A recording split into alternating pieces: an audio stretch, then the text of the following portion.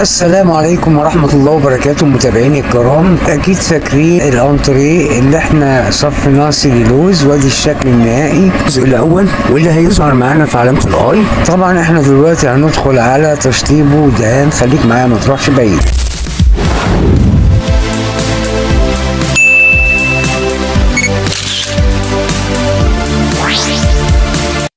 أهلا بيكم. كده ندخل في مرحلة الدهان باللون الشمبين أدي اللون أهو. أهو كريستال. metallic 400 دوكو champagne plus 40 60 نفتح العلبة مع بعض ونشوف. بسم الله ما شاء الله. طبعا نقلب كويس. بسم الله ما شاء الله. شايفين اللون؟ لون ذهبي لؤلؤي. ما شاء الله. قلبه كويس طبعا. على قد ما تقدر.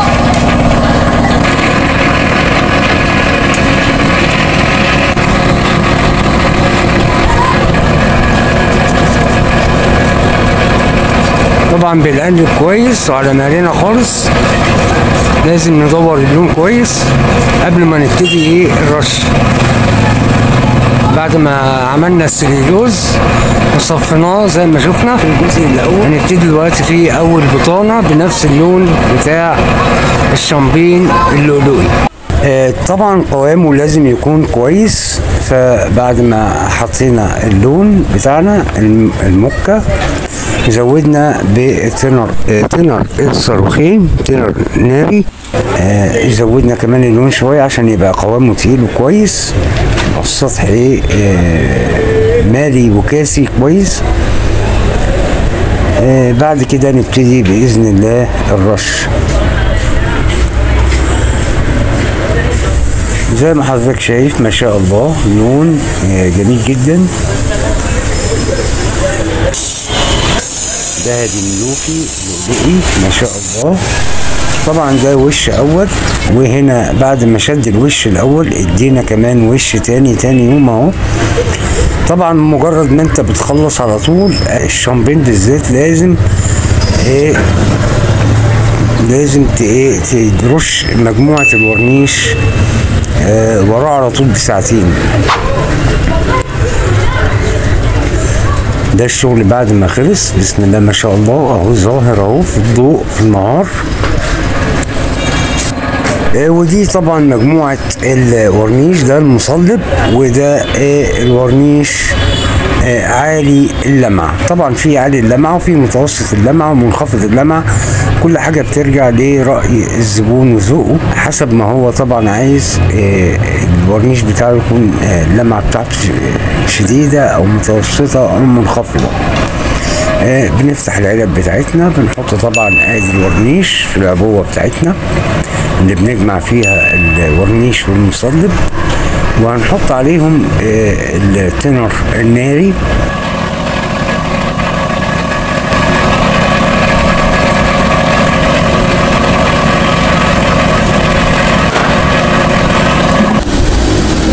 طبعا آه، بضيف التنر آه، اللي عندي قيمة آه، ربع العلبة بالظبط كده.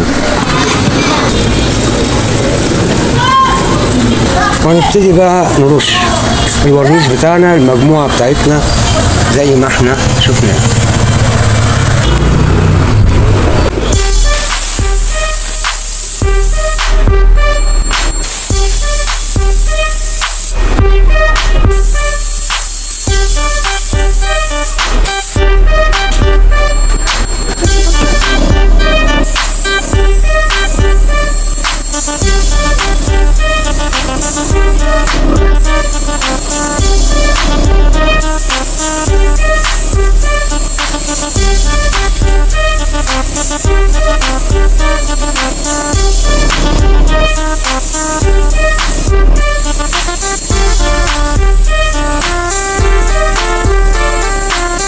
هتلاحظ هنا إن أنا مهتم قوي بالترابيزة. الترابيزة دي هي مراية الشغل يا جماعة.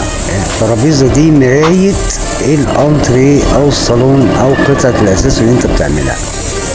طبعا آه، أنا برش بسرعة أو مشغل لك المقطع بسرعة لكن طبعا آه الأنتريه كله خد وش واتنين وتلاتة كمان آه مجموعة ورنيش.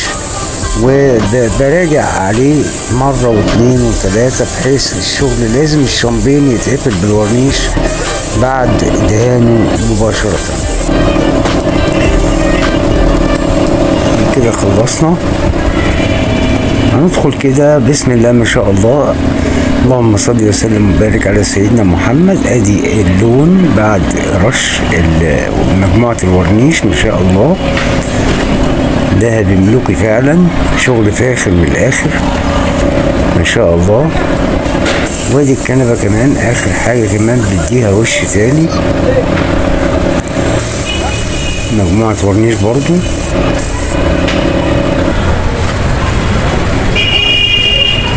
آدي الشغل بعد ما آه، خلص دهان. بسم الله ما شاء الله.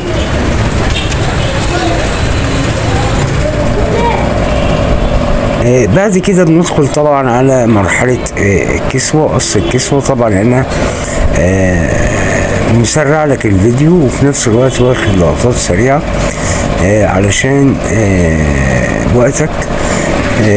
كده قصينا الكسوة بنص كمان الجناب اللي من بره اللي أنا بقصها دي الجناب اللي من بره. شايفين بعد تركيب الكسوة و الإكسسوار الشريط الذهبي مع اللون الذهبي بتاع الدهان. بسم الله تبارك الله.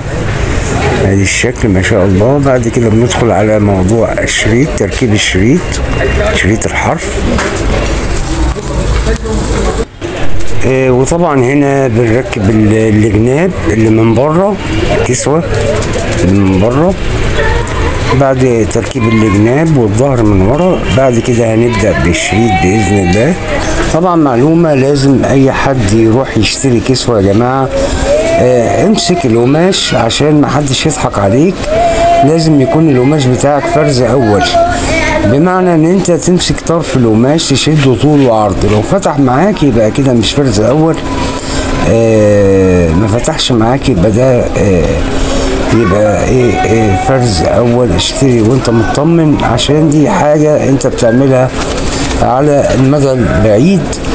آه وتعيش وتعمر. وما تنسوش طبعا تعملوا like على الفيديو و subscribe وفعلوا زر الجرس على الكل عشان يوصل لكم مني كل جديد.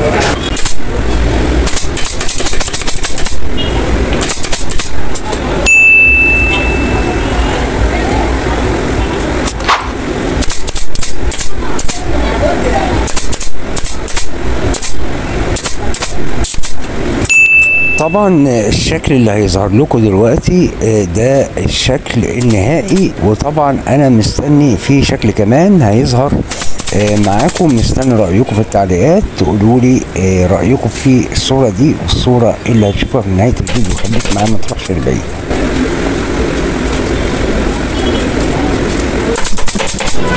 يا ريت يا جماعة آه، الراجل الطيب اللي شغال ده تعبان والله وباذل مجهود كبير عشان يوريك الشغل اللي هو بيعمله فيا ريت نكافئه باللايك. واكتب له تعليق حلو وشجعه في كلمة حلوة كده إذا كنت عروس ربنا يسعد قلبك وتلاقي ابن الحلال وإذا كنت شاب ربنا يكرمك ونعمل لك جهازك أنت وهو إن شاء الله. آه، كده يا جماعة دخلنا على مرحلة الشريط وادي زي ما أنت شايف كده الشريط لازم آه، يكون الشمع آه، مالي في ناس بتثبت بمسمار لا أنا ما بحبش المسمار لازم تثبيت الشريط يكون آه، بشمع كويس املا شمع كويس وخليك على خط مستقيم عشان شغلك يكون آه، مميز. بسم الله ما شاء الله. بعد ما خلصنا طبعا آه، تثبيت الإجناب دلوقتي دخلنا على مرحلة آه، تثبيت الشريط. آه، طبعا آه، الشريط أنواع وكل ما كان نوع الشريط آه، سعره أعلى وقيم هيعيش معاك ويبقى طبعا ال- آه، الشغل بتاعه بيكون عالي. آه كمان ألوان الشريط لازم تكون متناسقة مع لون الكسوة زي ما حضرتك شايف. لازم آه لون الشريط يكون متناسق مع لون الكسوة. آه كمان الاكسسوارات آه زي ما شا- شايف حضرتك حضرتك آه الشريط الذهبي ماشي مع لون الشامبين الذهبي الملوكي اللؤلؤي. ما شاء الله. آه، صلوا على الحبيب محمد. اللهم صل وسلم وبارك على سيدنا محمد. بعد ما طبعا بنخلص مرحلة الشريط بندخل على آه، شلت اللي هي المنفصلة. هنشوفها مع بعض إن شاء الله بعد ما بنخلص لزق الشريط. خليك معايا ما تروحش بعيد. ما تنساش اللايك اعمل subscribe فعل زر زر الجرس على الكل عشان يوصل لك مني كل جديد. بسم الله ما شاء الله. ادي الشريط كده خلص. وزي ما حضرتك شايف اللهم صل وسلم وبارك على سيدنا محمد وادي الشلت بتاعتنا آه طبعا الشلت معمولة من سفنج 12 آه سنتي آه ملفوف ب fiber حواليه آه كمان غطا دمور للحماية عشان طبعا السفنج بيرمل. لو حطيت الكسوه مباشرة على السفنج هيرمل معاك زي ما يكون عندك آه شوية ملوخية ناشفة كده وبتفروكيها فعمر السفنج بيطول لما بيتلف عليه fiber وزي ما حضرتك شايفة بيبقى ليه كيس بسوستة اللي هي الكسوة الخارجية بسوسته آه ممكن آه يعني ممكن يترد ويتغسل وكده. كمان المساند والظهر وكل الشغل اللي انت شايفه تحت الكسوة ده fiber آه على أساس إن انت ممكن تعالجيه آه من أي اتساخ. ادي آه، الشغل في آه، نهاية بعد ما خلصنا الشغل خالص تفنيش. آه، طبعا آه، هنشوف مع بعض آه، في آه، شكلين. عايز تعليقاتكم. آه، يا ترى شكل رقم واحد أهو. ده آه، الشكل ولا عجبك؟ اتنين.